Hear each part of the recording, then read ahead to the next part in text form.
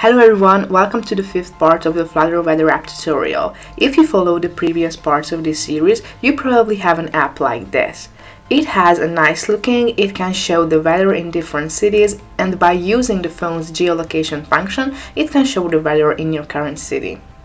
It's pretty cool, right? But what if I want to know how to plan for a vacation? What clothes do I have to pack? Yes, we will need a weather forecast. For this, we will use the third function of our API. It's called location day, and it can give us data about a particular date, which can be a date from the future. For example, let's try out July 27th.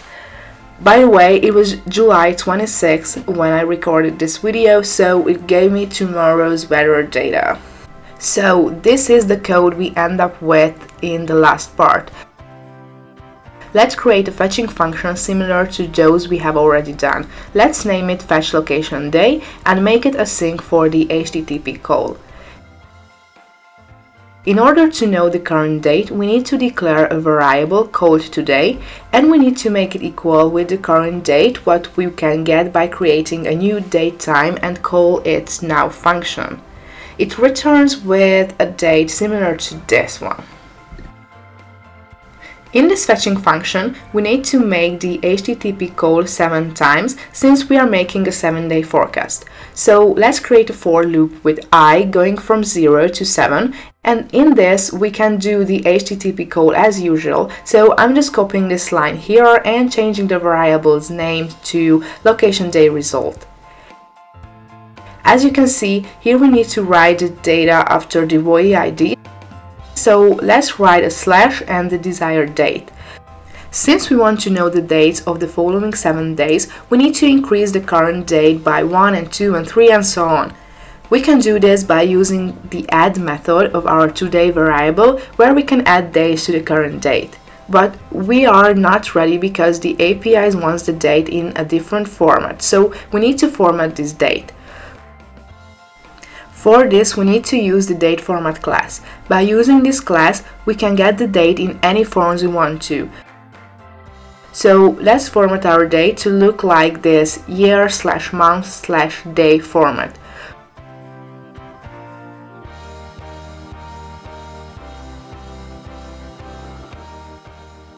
For using this date format class, we need to install this Dart package. So let's paste this into our dependencies and run pubget. And then we also need to import it in our main.dart file as usual.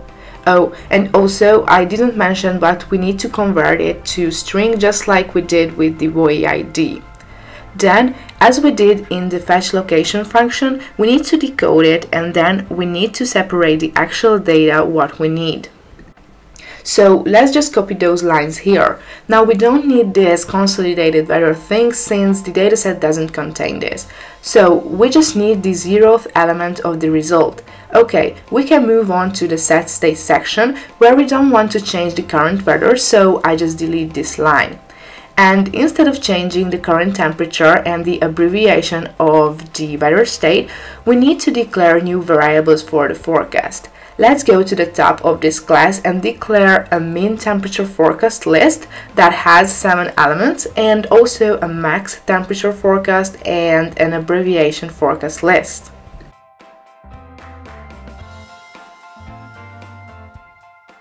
Then we need to change the set state section to set these new variables.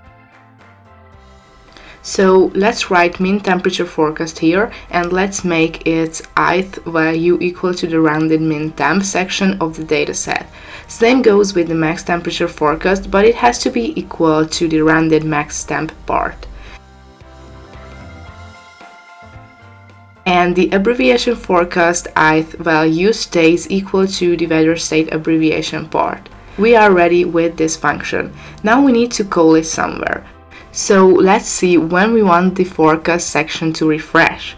Yes, after the user has searched a city, so let's call it in the onTextField submitted function right under the other fetching functions and also we need to call this function inside the initState function to have the data on the beginning screen which in our case will be the weather forecast of San Francisco. Right now we are ready with the background stuff, so now we can move on to the appearance and design. Most of the time it's better to have the design first and then the functionality, but in this case the temperature value and the weather state icon take out the biggest part of the design, so now it seemed easier for me to start with the functionality. I'm planning to make the forecast section somewhere here between the name of the city and the input field I'm thinking about a row with the different days in it and for each day we should show the date and the weekday, the icon of the weather state and the temperature values. Since we have declared a minimum and the maximum temperature variables, here we should show the minimum and the maximum values of the temperature to look more precise and also to try out something new. Here's a final look what we'd like to achieve now, so let's get started the designing. As the first step, we need to locate the right place for this forecast in our code. It means we have to find the end of the part which is doing the city's name text. And it's right here. Okay, so let's create a row here. It will have 7 children, one for each day of our 7 day forecast, but for the test let's create only two of them. The children will be widgets. Let's name this widget forecast element. And now we need to write this widget. For this, I'm going down at the very end of the code. Here we can declare this function that will return with a widget. So let's write widget forecast element and inside the function after a return we can write widget as usual. Let's create a container as the root of this widget we need a decoration which is a box decoration with a color of this. I'm using RGBO to set the opacity because I want the container's background to be semi-transparent. So I set the opacity to 0.2. We need to set a circular border radius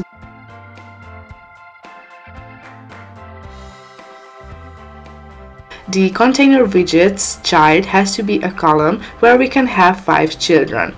The first is the abbreviation of the day of the week.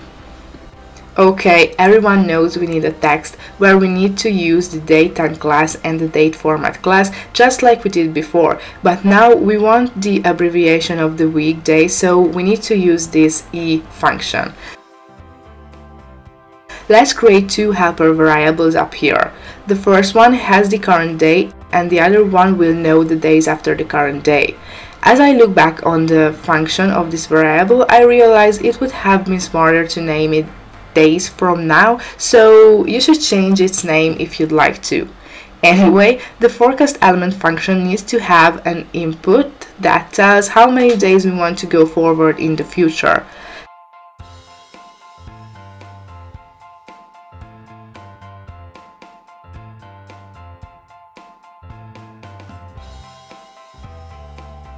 Let's style this text as usual, white color and font size of 25. Then we need to scroll up to the row where we can call this forecast element function. We have to write an input for this function. Let's write 1 to the first one and 2 to the second one.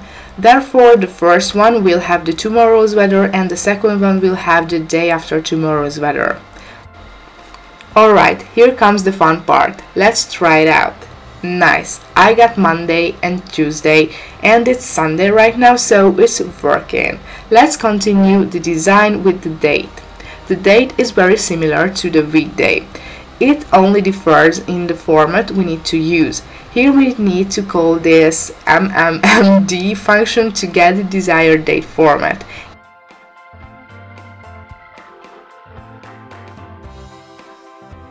And I'm also changing the font size to a little bit lower 20. Next up is the weather icon. It's similar to the big one we have already had above the temperature value, so I'm just copying the whole image.network widget and only changing the width to the half.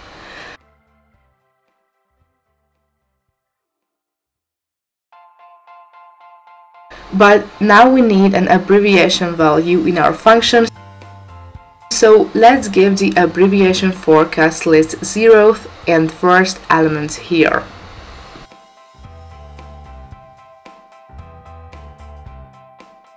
After the reload, it looks like this.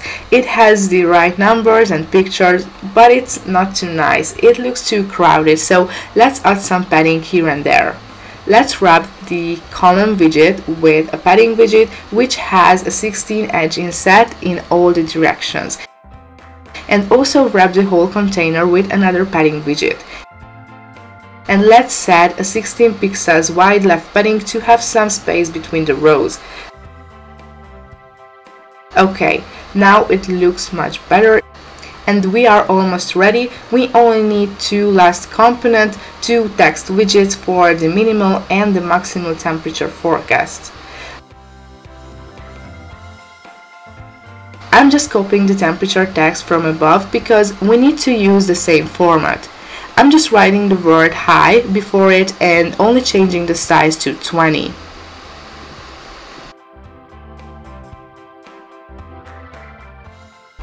Okay, we need a value to display.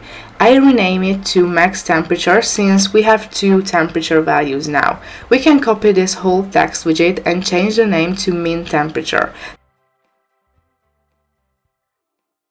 Now we can do the same thing we've done with the abbreviation. First, we need to write them as inputs of this function and then we need to call this function with the right values above. So let's write the min temperature forecast and the max temperature forecast zeroth value to the first function call and the first elements to the second function call.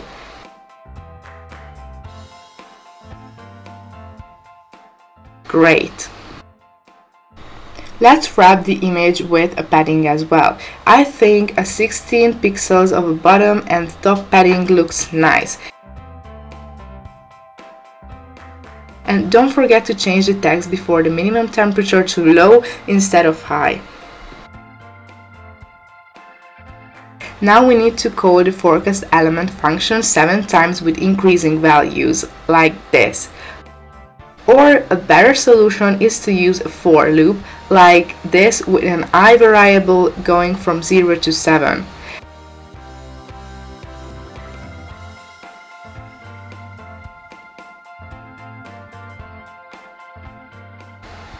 As you can see, it's overflowing. To handle this, we should create a scrollable row, what we can have in a really easy way. We only need to wrap our row with a widget called single child scroll view and we need to set its scroll direction property to axis that horizontal.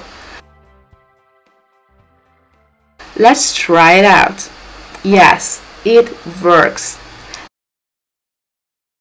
Let's search for a different city.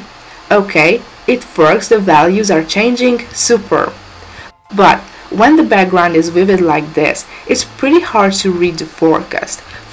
For this, we should place a filter to our background picture to make it a little bit darker. Let's find the section where we created this background image and let's set its color filter property to this new color filter dot mode colors dot black dot with opacity of uh, 0.6 and a blend mode with DSTA top.